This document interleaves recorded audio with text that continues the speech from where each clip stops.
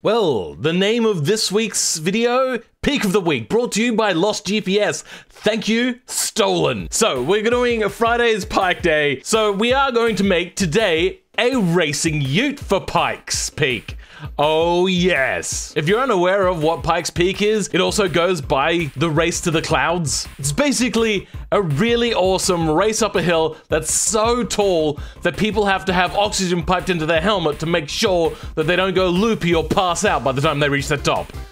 That's the sort of thing we're doing today. So it's going to be made out of fiberglass, space frame, oh, you know what? Actually, no. This one's probably going to use the vehicle's actual body. So it is going to be, ah, oh, a ladder, yes, and it is made out of steel, front longitudinal, double wishbone, and we're gonna say that the rear suspension, which would normally be some sort of solid axle leaf, probably, we're gonna replace that with push rod, because, I mean, You've got the room for it, it's not as if they're lacking. And we are going a much smaller body. This is not really a typical Australian ute. This one only is 2.5 meters. You know what, actually? No, this is going to be a space frame because we're going to say that this is based on a real ute, except it got modified and made shorter for the track and all that kind of stuff. And when they made it shorter, they may as well have just made it into a space frame. So that's what we're doing. It's also going to come with just a regular old V8. I could LS swap it again, but I think we're going to create a brand new one. Do we go something like a Ferrari? I think maybe yes. So it'll be made out of aluminium silicon compound, dual overcams, cams, 5 valves per cylinder, ALSI again. And here's where we start getting funny. Forged steel? Yes. Heavy duty forged? Heavy duty forged. Nice. Do we Give it really high RPM? Very possibly. Cam profile, way up. Head quality, way up. But not, you know, not the absolute maximum because these guys are like still trying to do it on a budget because they're not taking this completely seriously. This is a ute though.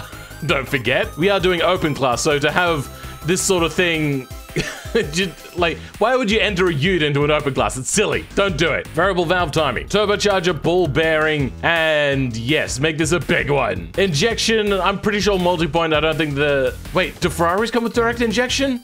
I'm not sure. We're going to say that they got an older used engine, so it will be a multi-point, not a direct injection. Per cylinder, performance, then ultimate fuel because this is a race car. Raise that RPM quite a bit. Increase the quality a little bit because this is a, uh, you know, high-end vehicle. Dual exhaust, probably really big for this sort of thing. No cat, no mufflers. This one is going to be loud, guys. We're not creating quite as much power as I'd like. Uh, all right, let's, uh, let's, let's fix that. Wait, you know what I've never done?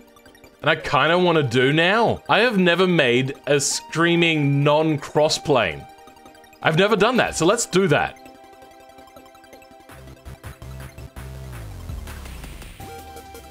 Well, there we go. A little over a thousand kilowatts, which is what, 13, 1400 horsepower? Yeah, over 1400 horsepower. Not bad at all for a 4.2 liter, I think it was. Yeah, 4.276. Nice. Let's give it a bit of a listen. Well, that's a new sound. Oh, and that's a good sound. Let's give it a bit of a paint. Well, it seems that they still haven't implemented all of these material paints yet, because I wanted to go with my racing yellow on at least something. Seems that we don't have the choice. So instead, we have to do it to the entire valve cover, which I, I, I, suppose I'm fine with. Let's move on. Now, we have two choices. Do we go the regular ute body, or do we go the dual cab version? The version which nobody buys. Okay, so I don't know whether you guys know this, but here in Australia, you do get both the normal single cab and then also the dual cab as well. But this is the one that sells used a whole lot more. Like these will go about 10 years later for about five to $15,000. But if you get a dual cab, That'll sell for like one to two thousand dollars. They are absolutely hated. They're only really ever bought by the government that wants to fit more people into a vehicle, but still want to be able to carry big stuff, but don't realize that you can't really do both.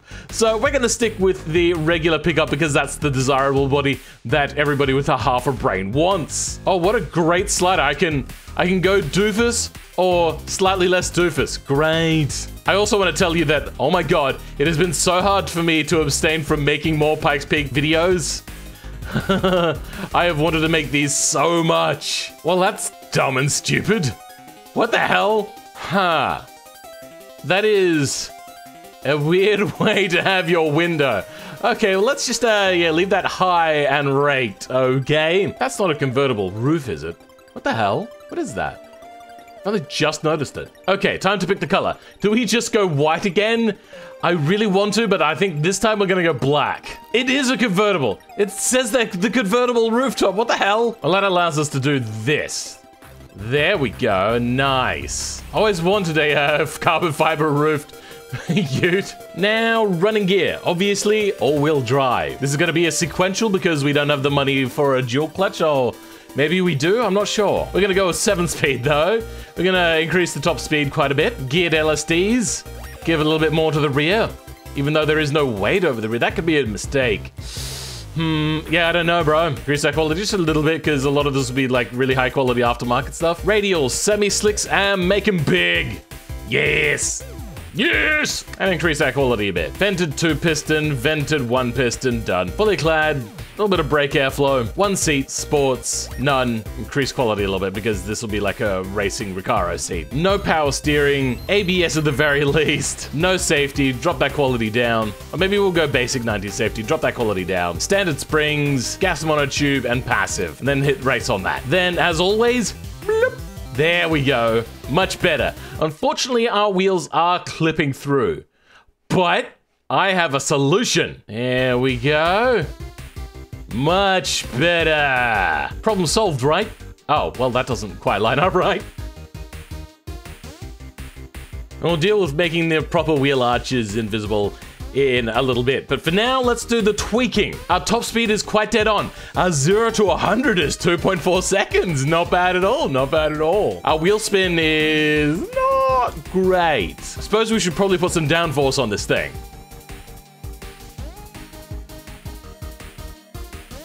Okay, here we go. We have the front splitter and two of these, uh, what are they, canards? I can't remember exactly and they will be not doing what they're meant to do, but they'll just be creating downforce. Then around to the back, we have ourselves a, uh, a hidden diffuser here, a real diffuser here, and a diffuser up here. Downforce up, yes, lots of. Getting a lot of understeer though. Hmm. What about our wheels? What do our wheels say? Our wheels say we're in good shape, though they are now in better shape. There we go. So they start to lose control about 85 to 90-ish kind of area. This thing's got good. We're gonna increase the quality a little bit at least. What do our brakes say? Our brakes say no. Ha! really they do. Oh my goodness. Okay, we've gone six piston in the front because we need to. Good thing we have ABS. Okay, reducing the rear wing angle will allow us to and not have quite so much oversteer. At a regular sort of speed at about here, we're generating only a little bit of downforce, but at least it's downforce. Wait, what? Our tires have changed? Oh, you know what it is? It's probably to do with the fact that uh, those brakes are a lot heavier on the front. But what that allows us to do is bring our tire size back up again, reducing our wheel spin whilst maintaining this nice in the middle here of no understeer, no oversteer kind of area. Nice. Thank you very much, convenience. What does automation say this can do around the track? A 149 they reckon. Also, that sounded really awesome. Let's listen to that again. That is a symphony of cylinders if I have ever heard one before. Oh, that's a good sound. I love it bring this down. 2.3 seconds to 100. We're still 2.3 seconds to 100. Our top speed is 340, which is fine. I don't see it doing a whole lot faster than that. I suppose now all that's left to do really is to make it look pretty. First thing I'm gonna do is try to uh, blank out these wheel arches. Oh no. So it seems that you cannot blank out these entire things because for some reason the body mesh which usually ends at the wheel arch and goes in for the inside of the wheel well is not actually there. This is actually floating above the wheel area so I can't blank out the interior part. That sucks. I'm gonna have to go in and do a little bit of modifying of the file then uh, to blank that out.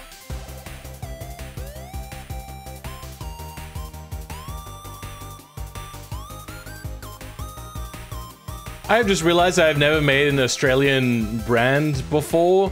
So I'm gonna do something that uh, a lot of other Australian car company manufacturers do, and that is retconning Aboriginal words. And there is a Nurang, which is one of the God knows how many Aboriginal tribes uh, clan. They have a word for bang, and that word is Chuta. So that's the name of our new Australian brand, the one to take over from where Holden's and Ford's left off. So this is going to be a 2016 car, which is exactly when Holden's and Ford shut down in Australia. And the trim model is going to be after their word for where or where are you or something along that sort of lines because you're going to be really far behind when you're following this thing. And that is the Winja. It's also uh, pronounced the Winji, but we're going to call it the Winja because that was the first one in the list. Are we ready to uh, go modify and take this over to BeamNG? I think we are. Except for the fact that we need actually a badge. There we go. We've gone with like this sun symbol because goddamn it gets hot here in Australia. So we kind of need that. We've also brought it here to the small factory because there's not going to be a whole lot that can be done here in Australia with uh, the way things are currently.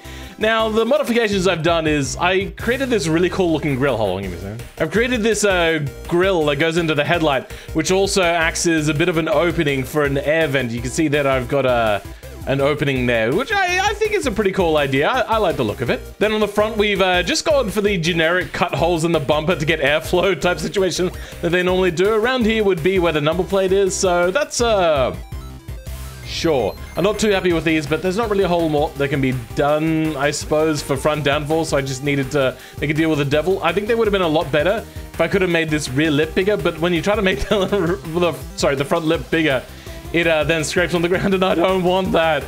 I really don't. Then when we get around to the side, we got this really cool uh, side intake. It's both on, uh, same on both sides. I really do like the look of that quite a bit. Then coming around to the rear, I've done a fairly good job. You know what, I actually probably should widen out this wing so it doesn't intersect with the lights. I hope you guys enjoy this car as much as I have enjoyed so far making it. It looks pretty darn awesome. Oh, damn it, it's not the chassis that is those gray bits. Oh, that means I can't get rid of them. God damn it. There we go. Now we've got them more hidden, at least a little bit. So, just look at it right at that angle. And bam, you can't see it. Awesome. And now we launch BeamNG. I think it's so awesome that two completely different games have been able to actually come together like this. I think it's so cool. And we are doing the Devil's Playground short again because we want to keep this consistent. Wait, where's the search function gone? Really? They got rid of the search function? Well, I mean, that's fine because I've forgotten the name of the vehicle already. God damn it. Where is it? Oh, it's right here. The Chuta Winja. Stop being such a whinger. I don't know if whinge is an American term, but here in Australia, whinge means somebody that, like, complains a lot. Usually a child whinges. Why has it come out chrome? what the hell? Why is that? That is strange. That is not the choice I made. I'm sorry, game, but no, that's not what I did. Well, I suppose we don't have a whole lot of choice, so we're just gonna have to live with it as it is. And give this a bit of a try. Oh, the sound of that engine is amazing. Oh my god, it sounds so good. But this mirror reflecting bonnet is just a little bit distracting with this whole dealio. Though also hitting the rev limiter is kind of weird in this thing. And even though I tried to avoid it, we do have a lot of scraping. So that is not so great. Oh, my chair changed position. I don't know whether you know this, but in my steering wheel setup is not on my desk. I created myself uh, a custom welded together cockpit thing, and I'm using just an old car seat that's kind of a little bit buckety. All right, so I have to remember, oh God, that there is no rev limiter for some reason, it's just getting up close to where it is, and then it just basically has an issue. I think we might have to go silent for this and just have voiceover. So I do know the track a little bit better now that I've spent hours on it, but this new Ute is a real handful. It may have more power, but with its lack of downforce, it's a real pain in the ass, and it's really unpredictable. Braking points had to be brought back, and with that extra power, accelerating was harder too. God damn it. Oh, I made it so far. Issue number two was, once I got better, I was making it further. Excellent, right? No. Brake fade. I'm not getting brake fade, am I? God damn it. I think I might need to go to something a little bit harder than this. And then they failed. Ah, shit. Okay, guys, uh, I need to take a quick break to go over to automation to change these brakes because these things are way reaching 1200 degrees, which is, yeah, just not working. So give me a second and back to automation. Fortunately, I only need to change the fronts. The rears seem to be doing quite fine. So hopefully, yeah, this will do what it needs to do. What was the price of this car, by the way? Wow, only $444,000. You know what? That's actually not too much for a race car. Though it is a lot for this being like kind of a one-off race car for a one-off race. I'm gonna do one thing though to make my life a little bit easier. Hopefully that makes a world of difference. Also gonna do that to hopefully get this color into BeamNG. Why does it look gray? There we go, we got the color to change. Unfortunately, black looks very different than what it looked like as gray over in automation. so, yeah, I mean, it's a little too black, but I, I mean, I still like it. Still looks pretty good. And let's hope that those slightly narrower tires aid me in surviving. Well, that didn't help. The issue was now I was getting good at the beginning, and I was starting to get a little bit overconfident, but then one thing clicked for me. If I turn the steering wheel about 90 degrees to the right when I take off, it counters that ginormous amount of torque steer.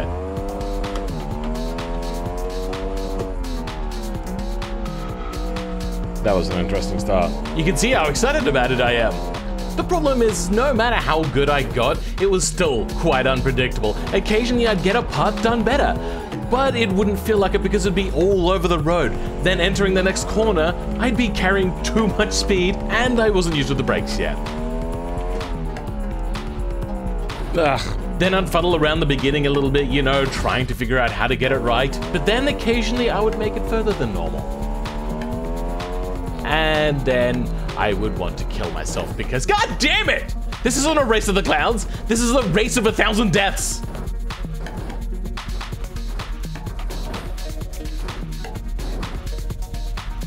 Now you all may be saying, Phil, why not just try taking it slower and complete a safe lap? Well, I want to be the very best. Like no lap that was ever timed. To brake super late was my real test and to accelerate out was my true cause. I'll drive this a million times, taking braking too far and corners too wide, to teach myself and understand the power that's under the hood. Pikes Peak, man, nail all the corners. I know it's my destiny for Pikes Peak. I know it's my destiny for Pikes Peak.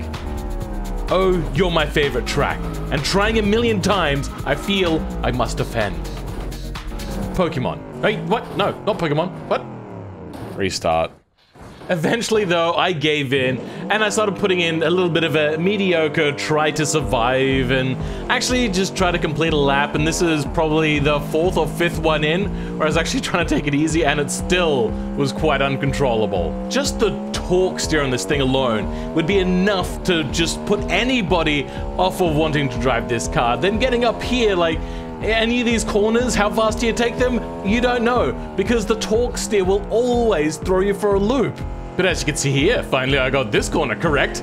Yay. And as you look to the right here, you can see like this thing just has death drops everywhere. And I'm afraid for my life. So yes, I did take this corner in third gear when that was really more of a fourth gear corner, but only if you're really lucky. In other car, you could do fourth gear corners. They're really easy. Braking here way earlier than what you need to be. Here I take this corner just absolutely abysmally. You can see I braked way too early. I'm in first gear, switching over to second gear, and then it's just it's way too loose. You cannot put the traction down sometimes because you can just feel that that front end is just super, super loose. And then, yeah, uh, right up here, you'll see that I fuddle up this corner. Awesome. Brake a little bit later. Where do I brake? I don't know. I stuffed up the last straight. So, you come up to here. Now, this is always a bit of a tricky one here. You don't really need to brake, you just need to lift off to get the weight onto those front wheels, and then you stuff it up more. Now, what do I do about my braking zone? I go a little bit later than what my normal braking zone is, but clearly not late enough because I was once again not braking super late. Now, you can also hear my brakes squeaking a little bit there, and yes, they are getting quite red hot. And yeah, so I do take this corner quite nicely, though coming up to the next one, just watch this work of art, just amazingly. Unfortunately, in this next section, I'm not really familiar with the track anymore. I get here so infrequently, so you can see I'm just going a little bit slower than what you would think that you could probably do around here, and you're about to see me brake a little too early. There, yeah, see, I just, I don't know what I'm doing. I don't know where these corners come up. I, I think I've been to this corner probably four times ever, because it is so hard to get here. And then watch this. Yep, I I that's how infrequent I come here. I've lost all my downforce and I've soft up. Now this thing is going to start pulling to the left a little bit and you're going to see my steering wheel having to go to a little bit to the right. And I just, it's so sketch. But the end is right there and I don't want to give it up. And you, there's going to be one last little incident as we come up here. I just, I couldn't thread the needle perfectly. Oh my God. But guys, yes. Oh my God, we finally done it. And even with those crashes, we're only five, seven seconds behind? Oh, that so makes me want to do another lap. but I don't want to. This car is hard to control. Ah.